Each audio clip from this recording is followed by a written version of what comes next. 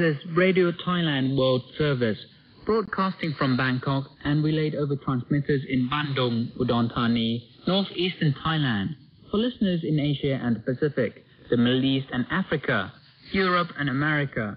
It is now time for our broadcast in Japanese.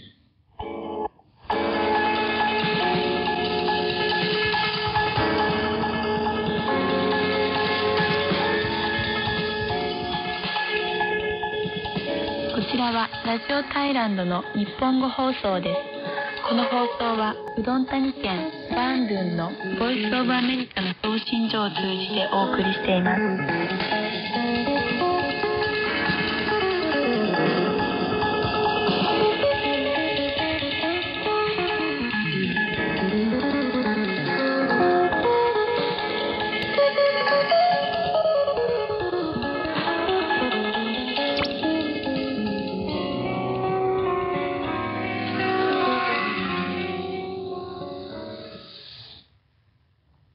こんにちは。こちらはラジオタイランド日本語放送です。ラジオを聴きの皆様、いかがお過ごしでしょうか？それでは本日お伝えしますニュースの項目です。タイは大気汚染問題解決を後押ししています。年末年始の観光収入は44%増えました。国家科学技術開発省は昨年の業務のまとめを発表しました。プーケット県がインド人観光客に期待しています。それではまず、はじめのニュースです。タイは大気汚染問題解決を後押ししています。政府は PM2.5 などの大気汚染問題に対して真摯に取り組んでおり、問題の発生源を抑制する必要性を強調しています。この問題に効果的に対処するため、タイ投資委員会は PM2.5 の問題に取り組む投資促進策を承認しました。この措置では PM2.5 の削減と予防のため、農家のグループや地方組織の環境管理を支援する企業に対し、国全体で奨励金が支給されます。対象となる地域は、コミュニティの森林、国立保護区、国有林などです。起業家は湿地防火帯やダム、園庭の建設、森林火災を阻止するための設備、森林火災の予防と抑制に関する研修プログラムの開催などといった活動への投資促進を求めることができます。森林管理や PM2.5 の元となる粉塵の削減に参加する企業には3年間の法人税免除が実施されます。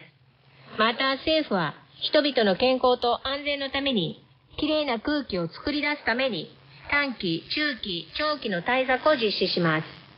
さらに、タイ投資委員会は、グリーンエネルギーの生産と利用を促進するため、いくつかの施策も発表しています。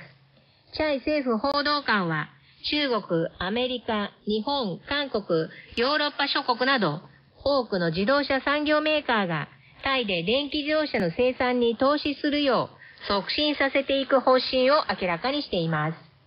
政府はタイを将来世界的な電気自動車の生産拠点として発展させるため、生産への投資を呼び続けており、これはタイ国内のきれいな空気のためでもあります。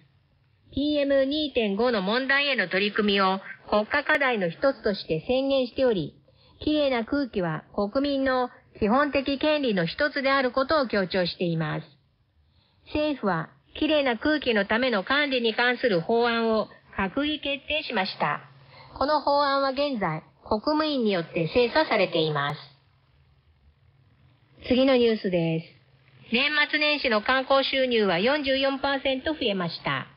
タイ政府観光庁のタパニー総裁は、12月22日から1月1日までの間の観光収入は、544億バーツ、約16億ドルという驚くべき数字だったことを明らかにしました。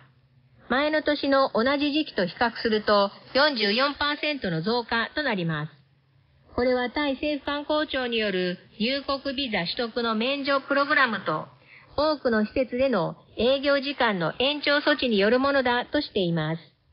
もう一つの要因としては、今年コロナ禍を経て久しぶりにタイの各地で2024年の新年を祝う派手なカウントダウンイベントが開催されたことだと指摘しています。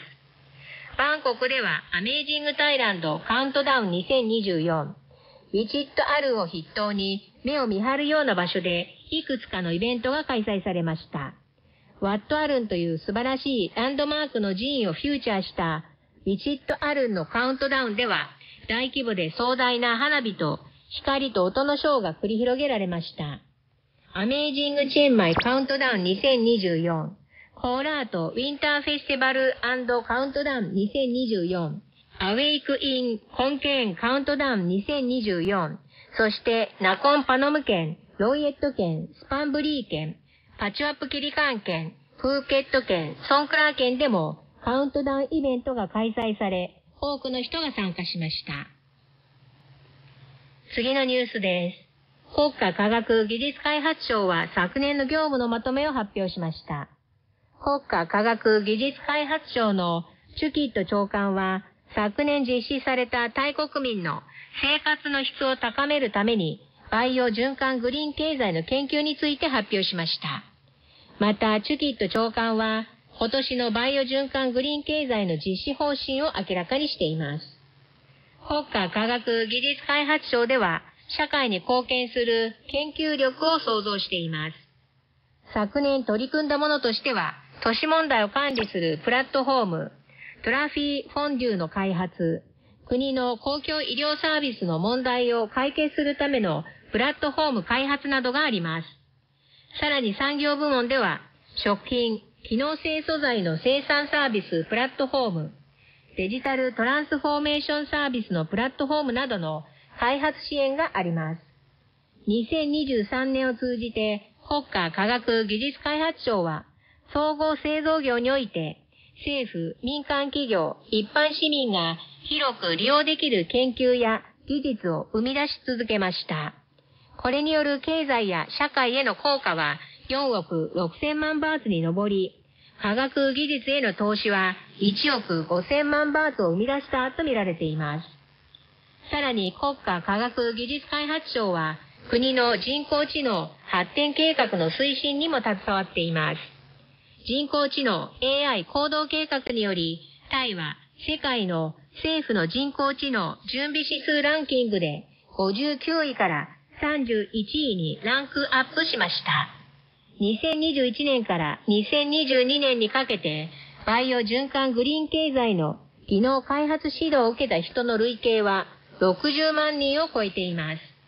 シャンタブリー県やラチャブリー県などのパイロット地域では、バイオ循環グリーン経済の割合が高くなっています。2024年、国家科学技術開発省は引き続き、11件のバイオ循環グリーン経済実施に関する研究を推進し、タイ人の生活の質を持続的に向上させていきたいとしています。また、社会の不平等を減らすために、経済成長率を高めていくことを目指しています。機能性食品の生産プラットフォームでは、産業上のエコシステムの構築に貢献するもので、国内の食品、化粧品産業の競争力を高め、自立性を促すものとなっています。次のニュースです。プーケット県がインド人観光客に期待しています。タイ南部に位置する世界的に知られた観光の島、プーケット県では、エアインディアが昨年12月15日、インドの首都ニューデリーとプーケットとを結ぶ週4便の直行便をスタートさせました。これが今年1月から週7便に増便されたことから、プーケットを訪れるインド人観光客の大幅な増加が期待されています。タイ政府観光庁のプーケット支部によりますと、プーケットを訪れる外国人観光客の人数の順位は、1位がロシア人、2位が中国人、3位がインド人となっています。また、コロナ禍が収束したことから、タイの観光産業からは、中国人観光客の増加に期待が集まっていたものの、プーケットを観光する中国人はさほど増えていません。これを補う形でインド人観光客が増加することが期待されています。一方、タイ経済の成長見通しで世界銀行が下方修正を発表しました。世界銀行はこのほど、タイ経済の成長が今年3.2%になるとの見通しを示しました。これは世界銀行が昨年10月に示した見通し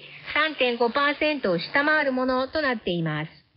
昨年は輸出が前年を下回ったことや国家予算に関する問題がタイ経済の成長にとってマイナス要因となっていると指摘しています。世界銀行は2025年に関しては観光業がコロナ禍前のレベルにまで盛り返し、タイ経済は3.1%程度成長すると予測しています。それでは本日お伝えしましたニュースの項目を繰り返します。タイは大気汚染問題解決を後押ししています。年末年始の観光収入は44%増えました。国家科学技術開発省は昨年の業務のまとめを発表しました。プーケット県がインド人観光客に期待しています。以上、ラジオタイランドの小島秀美でした。ごきげんよう。さようなら。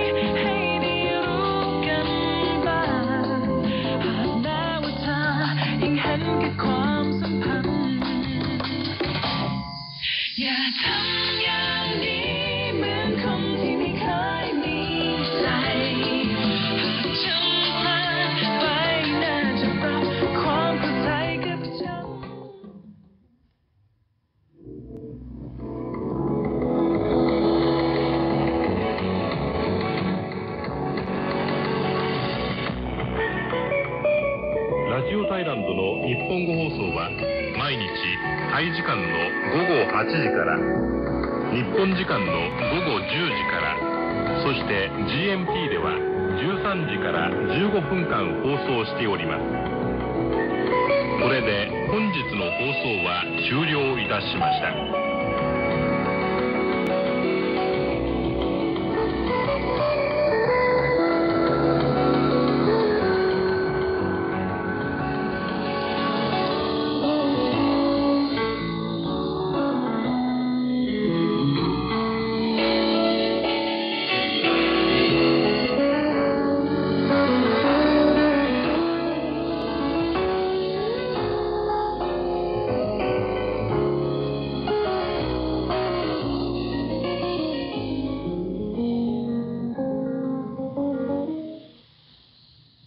Concludes our broadcast in Japanese. This program can be heard from 2000 to 2015 Bangkok time or 1300 to 1315 GMT.